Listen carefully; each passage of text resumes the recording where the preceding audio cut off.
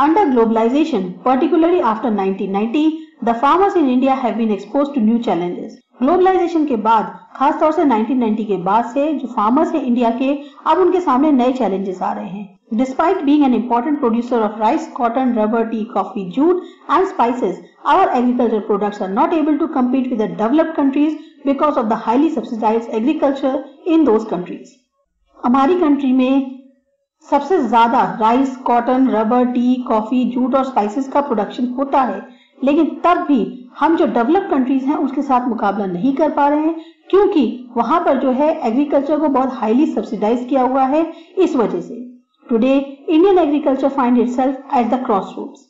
जैसे कहना चाहिए, आज इंडियन एग्रीकल्चर जो है, वो चौराहे पे खड़ा है। To make agriculture successful and profitable proper thrust should be given to the improvement of the condition of the marginal and small farmers अगर चाहते हैं कि जो एग्रीकल्चर है वो काफ़ी सक्सेसफुल हो, उससे फ़ायदा हो तो स्पेशली एक फोर्स की ज़रूरत है, जिससे कि जो कंडीशन है मार्जिनल या स्मॉल फार्मर्स की, उनमें सुधार किया जा सके।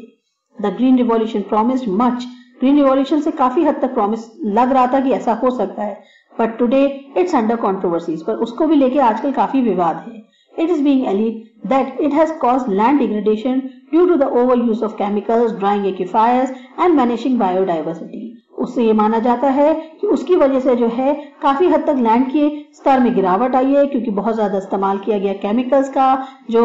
एक्यूफायर्स हैं यानी पानी के जो एरियाज़ हैं वो सूख गए हैं और बायोडाइवर्सिटी भी एक तरह से खत्म हो रही है the keyword today is a gene revolution which includes genetic engineering अब आज की डेट में लोग बोलते हैं जेन रिवॉल्यूशन की ज़रूरत है, जिसका मतलब है, या जिसमें शामिल होती है genetic engineering in fact organic farming is much in work today because it is practice without factory made chemical such as fertilizers and pesticide आजकल ऑर्गेनिक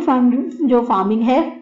अब लोग उसके लिए ज़्यादा प्रेफर कर रहे हैं या उसको ज़्यादा प्रैक्टिस कर रहे हैं क्योंकि उसमें जो है, कोई भी फैक्ट्री में बने हुए केमिकल्स का इस्तेमाल यानी फर्टिलाइजर्स का नहीं किया जा रहा है या कोई भी पेस्टिसाइड का इस्तेमाल नहीं किया जा रहा है। Hence, it does not affect environment in a negative manner इससे क्या होता है कि एनवायरमेंट पर भी जो है उसका बुरा प्रभाव नहीं पड़ता A few economists think that Indian farmers have a bleak future if they continue growing food grains on the holdings that grow smaller and smaller as the population rises. जो कुछ इकोनॉमिस्ट हैं उनका ये मानना है कि जो इंडियन फार्मर्स हैं उनका एक तरह से फ्यूचर इतना ज़्यादा ब्राइट नहीं है। अगर वो इसी तरीके से जो फ़ूड ग्रेन्स है वो उगाते रहेंगे उन जगहों पर जो कि दिन पर दिन और छोटी होती जा रही है क्योंकि पॉपुलेशन बढ़ती जा रही है। India's rural population is about 600 million, which depends upon 250 million hectares of agricultural land, an average of less than half a hectare per person. India की जो रूरल पॉपुलेशन है वो लगभग 600 मिलियन है। और जो कि लगभग 250 मिलियन की ज़मीन पे हेक्टेयर्स जो है